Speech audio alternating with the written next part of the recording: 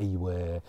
بص بقى الجامعات المصرف المصرية في تصنيفات التعليم الدولي للجامعات. ست جامعات مصرية جديدة تم إدراجها في تصنيف شنغهاي أهو ده التصنيف الصيني اللي بقول لك عليه الجامعات منذ دخول التصنيف. 2006 كنا جامعة واحدة. خش على ال 11 جامعة مصرية الجديدة اللي تم تصنيفها أو اللي تم وضعها وإدراجها في تصنيف شنغهاي للتخصصات الأكاديمية. 2017 13 جامعة 2022 24 جامعة. طب تعال نشوف 21 جامعة مؤسسة علمية جديدة تم إدراجهم في تصنيف ويبوماتريكس الأسباني منذ دخول مصر لهذا التصنيف.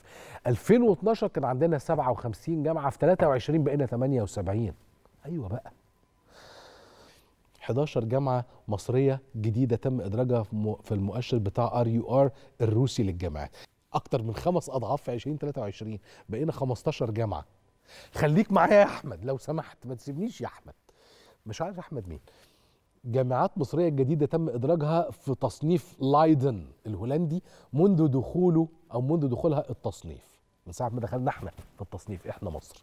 لحد 2013 خير اللهم اجعله خير برضو واحد. زادوا 10 أضعاف بقى عندنا 10 جامعات في 2022 من جامعة ل 10 جامعات. طيب تعالى نشوف التصنيف بتاع CWR.